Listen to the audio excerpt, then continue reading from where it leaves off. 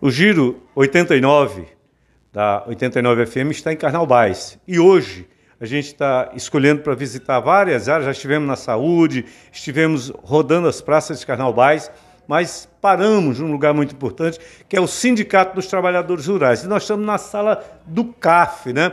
Vamos conversar com Antônia Dantas, que é uma referência para Carnaubais e para a agricultura de um modo geral.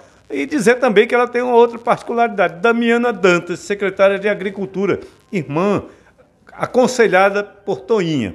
Bom dia, Toinha. Quais são as novidades da agricultura familiar em Carnaubais? Estamos é, com muitas novidades, né? Nós, agora recente, eu saí do congresso da CUT, por sinal, cheguei ontem, é, de São Paulo, um congresso, a participação muito boa e trouxe muitas propostas boas para o movimento sindical. Também tivemos em Fortaleza, agora recente, onde tem uma pauta exclusivamente de nós mulheres, resposta da Marcha das Margaridas, e a gente estava se debruçando em cima dessa pauta para realmente chegar às propostas e resultado na base.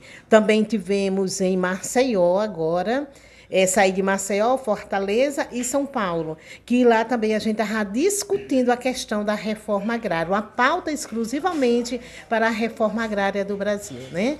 E aí nós vem agora para o CAF.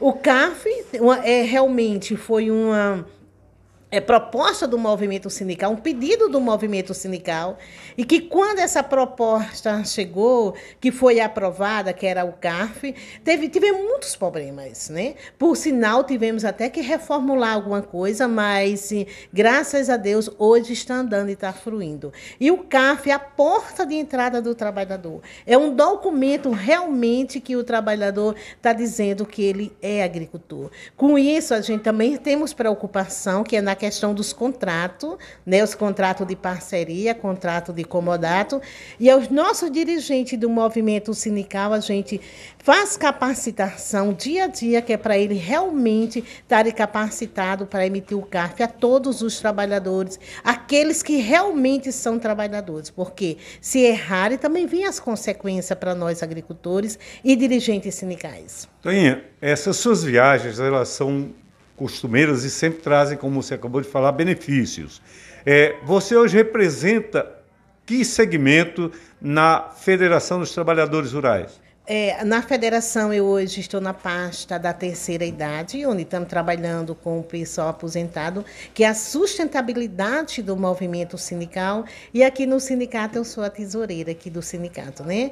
Então, assim, eu ando aí todo o estado e também fora do estado. Então, estou pronta para a defesa de todos os agricultores do estado do Rio Grande do Norte. O que está sendo preparado para atender o agricultor a partir de 2024? Bom, até que hoje está acontecendo um evento em Mossoró, que é a questão da semente crioula, né?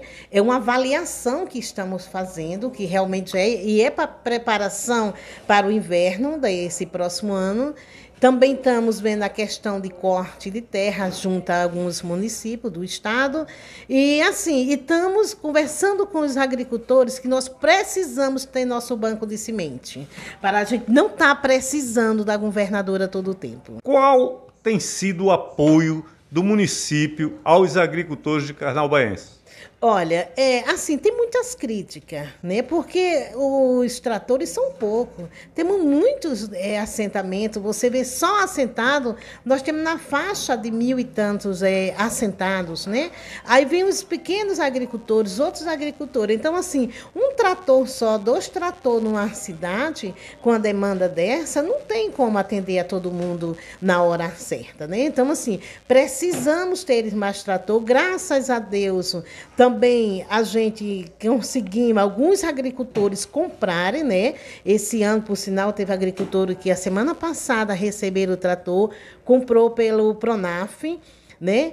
E assim, isso já vai ajudar a ter mais trator no município para cortar a sua terra, porque não só esperar pela prefeitura, que são poucos e muita gente.